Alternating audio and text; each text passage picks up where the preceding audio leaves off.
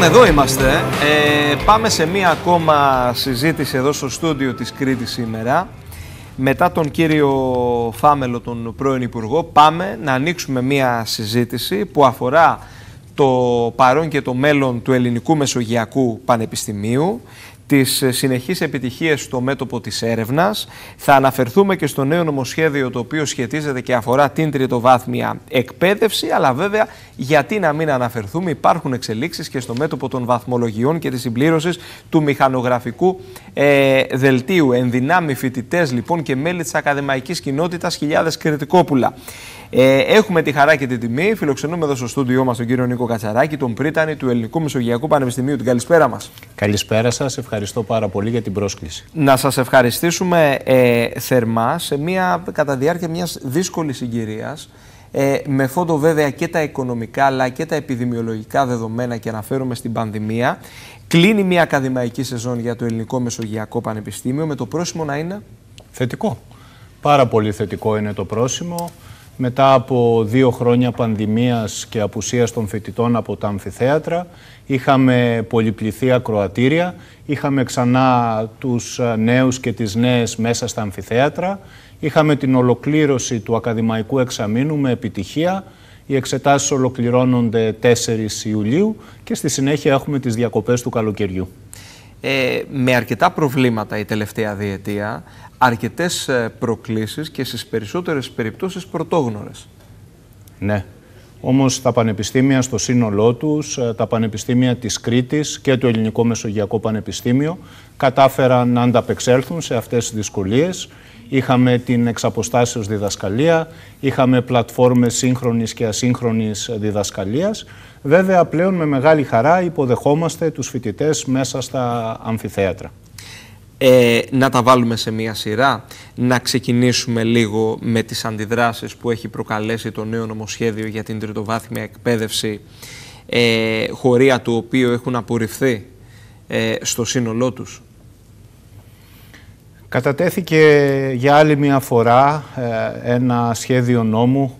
Ήθιστε ο κάθε Υπουργός ε, Παιδείας έρευνας και θρησκευμάτων να φέρνει ένα σχέδιο νόμου στο Ελληνικό Κοινοβούλιο το οποίο στη συγκεκριμένη περίπτωση αλλάζει, θα έλεγα, εκβάθρον τη δομή του Δημόσιου Πανεπιστημίου. Είναι βέβαιο ότι η ακαδημαϊκή κοινότητα στο σύνολό της, ξεκινώντας από τη Σύνοδο των Πριτάνεων, η σύγκλητη των πανεπιστημίων, οι σύλλογοι των μελών διδακτικού ερευνητικού προσωπικού, αλλά και οι φοιτητές και οι σύλλογοι των εργαζομένων ε, μέσα στα πανεπιστήμια, διοικητικό προσωπικό, τεχνικό προσωπικό, έχουν αντιδράσει σε ένα μεγάλο μέρος, θα έλεγα, του νομοσχεδίου, κυρίως ε, στο κομμάτι που αφορά στο νέο μοντέλο διοίκησης των πανεπιστημίων, όπου πλέον η διοίκηση του Πανεπιστημίου, ο πρίτανης, οι αντιπριτάνης, οι κοσμήτορες δεν θα εκλέγονται από την ακαδημαϊκή κοινότητα αλλά θα ορίζονται ουσιαστικά από ένα Συμβούλιο Διοίκησης που αποτελείται και από εξωπανεπιστημιακά μέλη, καθώς επίσης όμως και σε μία σειρά μέτρων που εισαγάγει το νομοσχέδιο, τα οποία οδηγούν τα πανεπιστήμια σε ένα αγώνα δρόμου για να βρουν πόρους. Ε, καθώς όπως γνωρίζετε η χρηματοδότηση της ανώτατης εκπαίδευσης στη χώρα μας είναι από τις μικρότερες παγκοσμίως, από τις μικρότερες όχι μόνο στην Ευρωπαϊκή Ένωση αλλά και παγκοσμίως και πραγματικά με ορισμένες ρυθμίσεις που εισάγονται στο συγκεκριμένο νομοσχέδιο, όπως για παράδειγμα η ουσιαστική εξαφάνιση των δωρεάν μεταπτυχιακών προγραμμάτων σπουδών και πολλές άλλες ε, ρυθμίσεις, οδηγούμαστε σε ένα κυνήγι ανέβρεσης πόρων. Ε, βέβαια, με την Πανελλήνια Ομοσπονδία, την ε, ΠΟΕΣΔΕΠ, να καλεί την κυβέρνηση να μην καταθέσει το συγκεκριμένο σχέδιο νόμου. Είναι η πρώτη φορά μετά από πάρα πολλά χρόνια που η ΠΟΣΔΕΠ, η Ομοσπονδία ουσιαστικά των ακαδημαϊκών, των μελών ΔΕΠ, ομόφωνα εισηγείται την απόσυρση του νομοσχεδίου. Επαναλαμβάνω το σύνολο σχεδόν των 24 πανεπιστημίων μέσω αποφάσεων των συγκλήτων τους εισηγούνται σε ένα πολύ μεγάλο βαθμό την απόσυρση ενός μεγάλου μέρους ή του συνόλου του νομοσχεδίου. Βέβαια, δεν διαφαίνεται αυτή τη στιγμή κάποια υποχώρηση από πλευράς της κυρίας Κεραμέως, της Υπουργού Παιδείας, την οποία όμως καλούμε έστω και την ίστατη αυτή τη στιγμή να αφουγκραστεί την άποψη της ακαδημαϊκής κοινότητας, η οποία έχει εκφραστεί από όλα τα συλλογικά όργανα και να αναθεωρήσει, θα έλεγα, πάρα πολλές πτυχές του συγκεκριμένου σχεδίου νόμου. Ε, κάτω από αυτές λοιπόν τις ε, συνθήκες, με έντονο το αίσθημα της ανησυχίας και του προβληματισμού και των αντιδράσεων με φόντο και αυτό το σχέδιο νόμου για τα πανεπιστήμια, να εστιάσουμε λίγο στην ανωδική πορεία του ΕΛΜΕΠΑ ε, στο μέτωπο της έρευνας, παρά τα προβλήματα. Το Ελληνικό Μεσογειακό Πανεπιστήμιο, όπως άλλωστε και όλα τα δημόσια πανεπιστήμια της χώρας, ε, καταγράφουν συνεχώς ανωδική πορεία. Τόσο στις διεθνείς αξιολογήσεις έχουμε πανεπιστήμια όπως είναι το Εθνικό Καποδιστριακό Πανεπιστήμιο Αθηνών, όπως είναι αρκετά περιφερειακά πανεπιστήμια, όπως είναι το Όμορο Πανεπιστήμιο Κρήτης, που καταγράφουν πάρα πολύ υψηλές θέσεις σε παγκόσμιες αξιολογήσεις. Το Ελληνικό Μεσογειακό Πανεπιστήμιο ιδρύθηκε όπως γνωρίζετε στην τρέχουσα μορφή του, στον πανεπιστημιακό τομέα τα τελευταία τρία χρόνια. Ουσιαστικά ιδρύθηκε το Μάιο του 2019 ως εξέλιξη βεβαίως του Τεχνολογικού Εκπαιδευτικού Ιδρύματος Κρήτης, το οποίο είχε μία λαμπρή ιστορία και μέσα σε αυτά τα χρόνια, ήδη από το 2020, έχει καταφέρει θα έλεγα άλματα όσον αφορά τις επιδόσεις του, σε ακαδημαϊκό επίπεδο, σε επίπεδο εξωστρέφειας, δηλαδή διασύνδεσης με την κοινωνία και με την πραγματική οικονομία της Κρήτης αλλά και ολόκληρης της χώρας, καθώς επίσης και όσον αφορά τη διεθνοποίηση. Να σημειώσω εδώ ότι είμαστε ένα από τα ελάχιστα ελληνικά πανεπιστήμια που συμμετέχουν με ιδιαίτερη επιτυχία στο θεσμό των Ευρωπαϊκών Πανεπιστημίων. Επίσης, στον τομέα της έρευνας, μιας και το αναφέρατε, είμαστε το Πανεπιστήμιο, θα δημοσιοποιηθούν πάρα πολύ σύντομα τα συγκεκριμένα στοιχεία που καταγράφει τη μεγαλύτερη άνοδο όσον αφορά σε πανελλήνιο επίπεδο των δικτών της έρευνας από το 2020 στο 2021. Ο αριθμός των δημοσιεύσεων, αναμέλος ΔΕΠ, ο αριθμός των αναφορών στο δημοσιευμένο επιστημονικό έργο Επίσης, καταγράφει πάρα πολύ μεγάλο ε, άνοδο. Να αναφέρω εδώ ότι από περίπου 230 επιστημονικές δημοσιεύσεις το 2020, έχουμε το 2021 σχεδόν 400 δημοσιεύσεις, 390 περίπου δημοσιεύσεις, ξεπερνώντας κατά πολύ το μέσο όρο των ελληνικών πανεπιστημίων και καταγράφοντας τη μεγαλύτερη άνοδο σε σχέση με τα υπόλοιπα πανεπιστήμια της χώρας. Οπότε στους ε, επιτυχώντες στις πανελλαδικές ε, εξετάσεις και κατά κάποιο τρόπο δυνάμει ε, φοιτητές, τι έχετε να πείτε σε κριτικούς και μη. Για ποιο λόγο να επιλέξουν να τοποθετήσουν στο μηχανογραφικό τους σχολές και τμήματα του ΕΛΜΕΠΑ; Καταρχήν να, να συγχαρώ ε, όλους τους υποψήφιους ε, για το στένος που έδειξαν σε μια πολύ δύσκολη περίοδο μετά από την πανδημία, έχοντας περάσει την πρώτη και τη δευτέρα λυκείου σε συνθήκες πανδημίας, να συμμετέχουν και να έχουν πολύ ικανοποιητικά αποτελέσματα στις πανελλήνιες εξετάσεις. Να συγχαρώ τους επιτυχώντες, αναμένονται οι βάσεις μέχρι το 15 Αύγουστο των τμήματων και πραγματικά να πω ότι τα 11 ακαδημαϊκά τμήματα του Ελληνικού Μεσογειακού Πανεπιστημίου είναι ποιοτικά τμήματα, είναι τμήματα με σύγχρονα προγράμματα σπουδών, είναι τμήματα που έχουν πολύ μεγάλο αντίκρισμα στην αγορά εργασίας. Αυτό είναι πολύ σημαντικό. Πρόσφατες μελέτες ε, για ορισμένα τμήματα θα τα αναφέρω, το τμήμα Λογιστικής και Χρηματοοικονομικής του Ελληνικού Μεσογειακού Πανεπιστημίου και το τμήμα Διοικητικής Επιστήμης και Τεχνολογίας δείχνουν ότι η συντριπτική πλειοψηφία, η συντριπτική πλειοψηφία με ένα ποσοστό πάνω από το 80% των αποφύτων βρίσκει δουλειά μέσα σε πολύ σύντομο χρονικό διάστημα μετά την αποφύτισή του.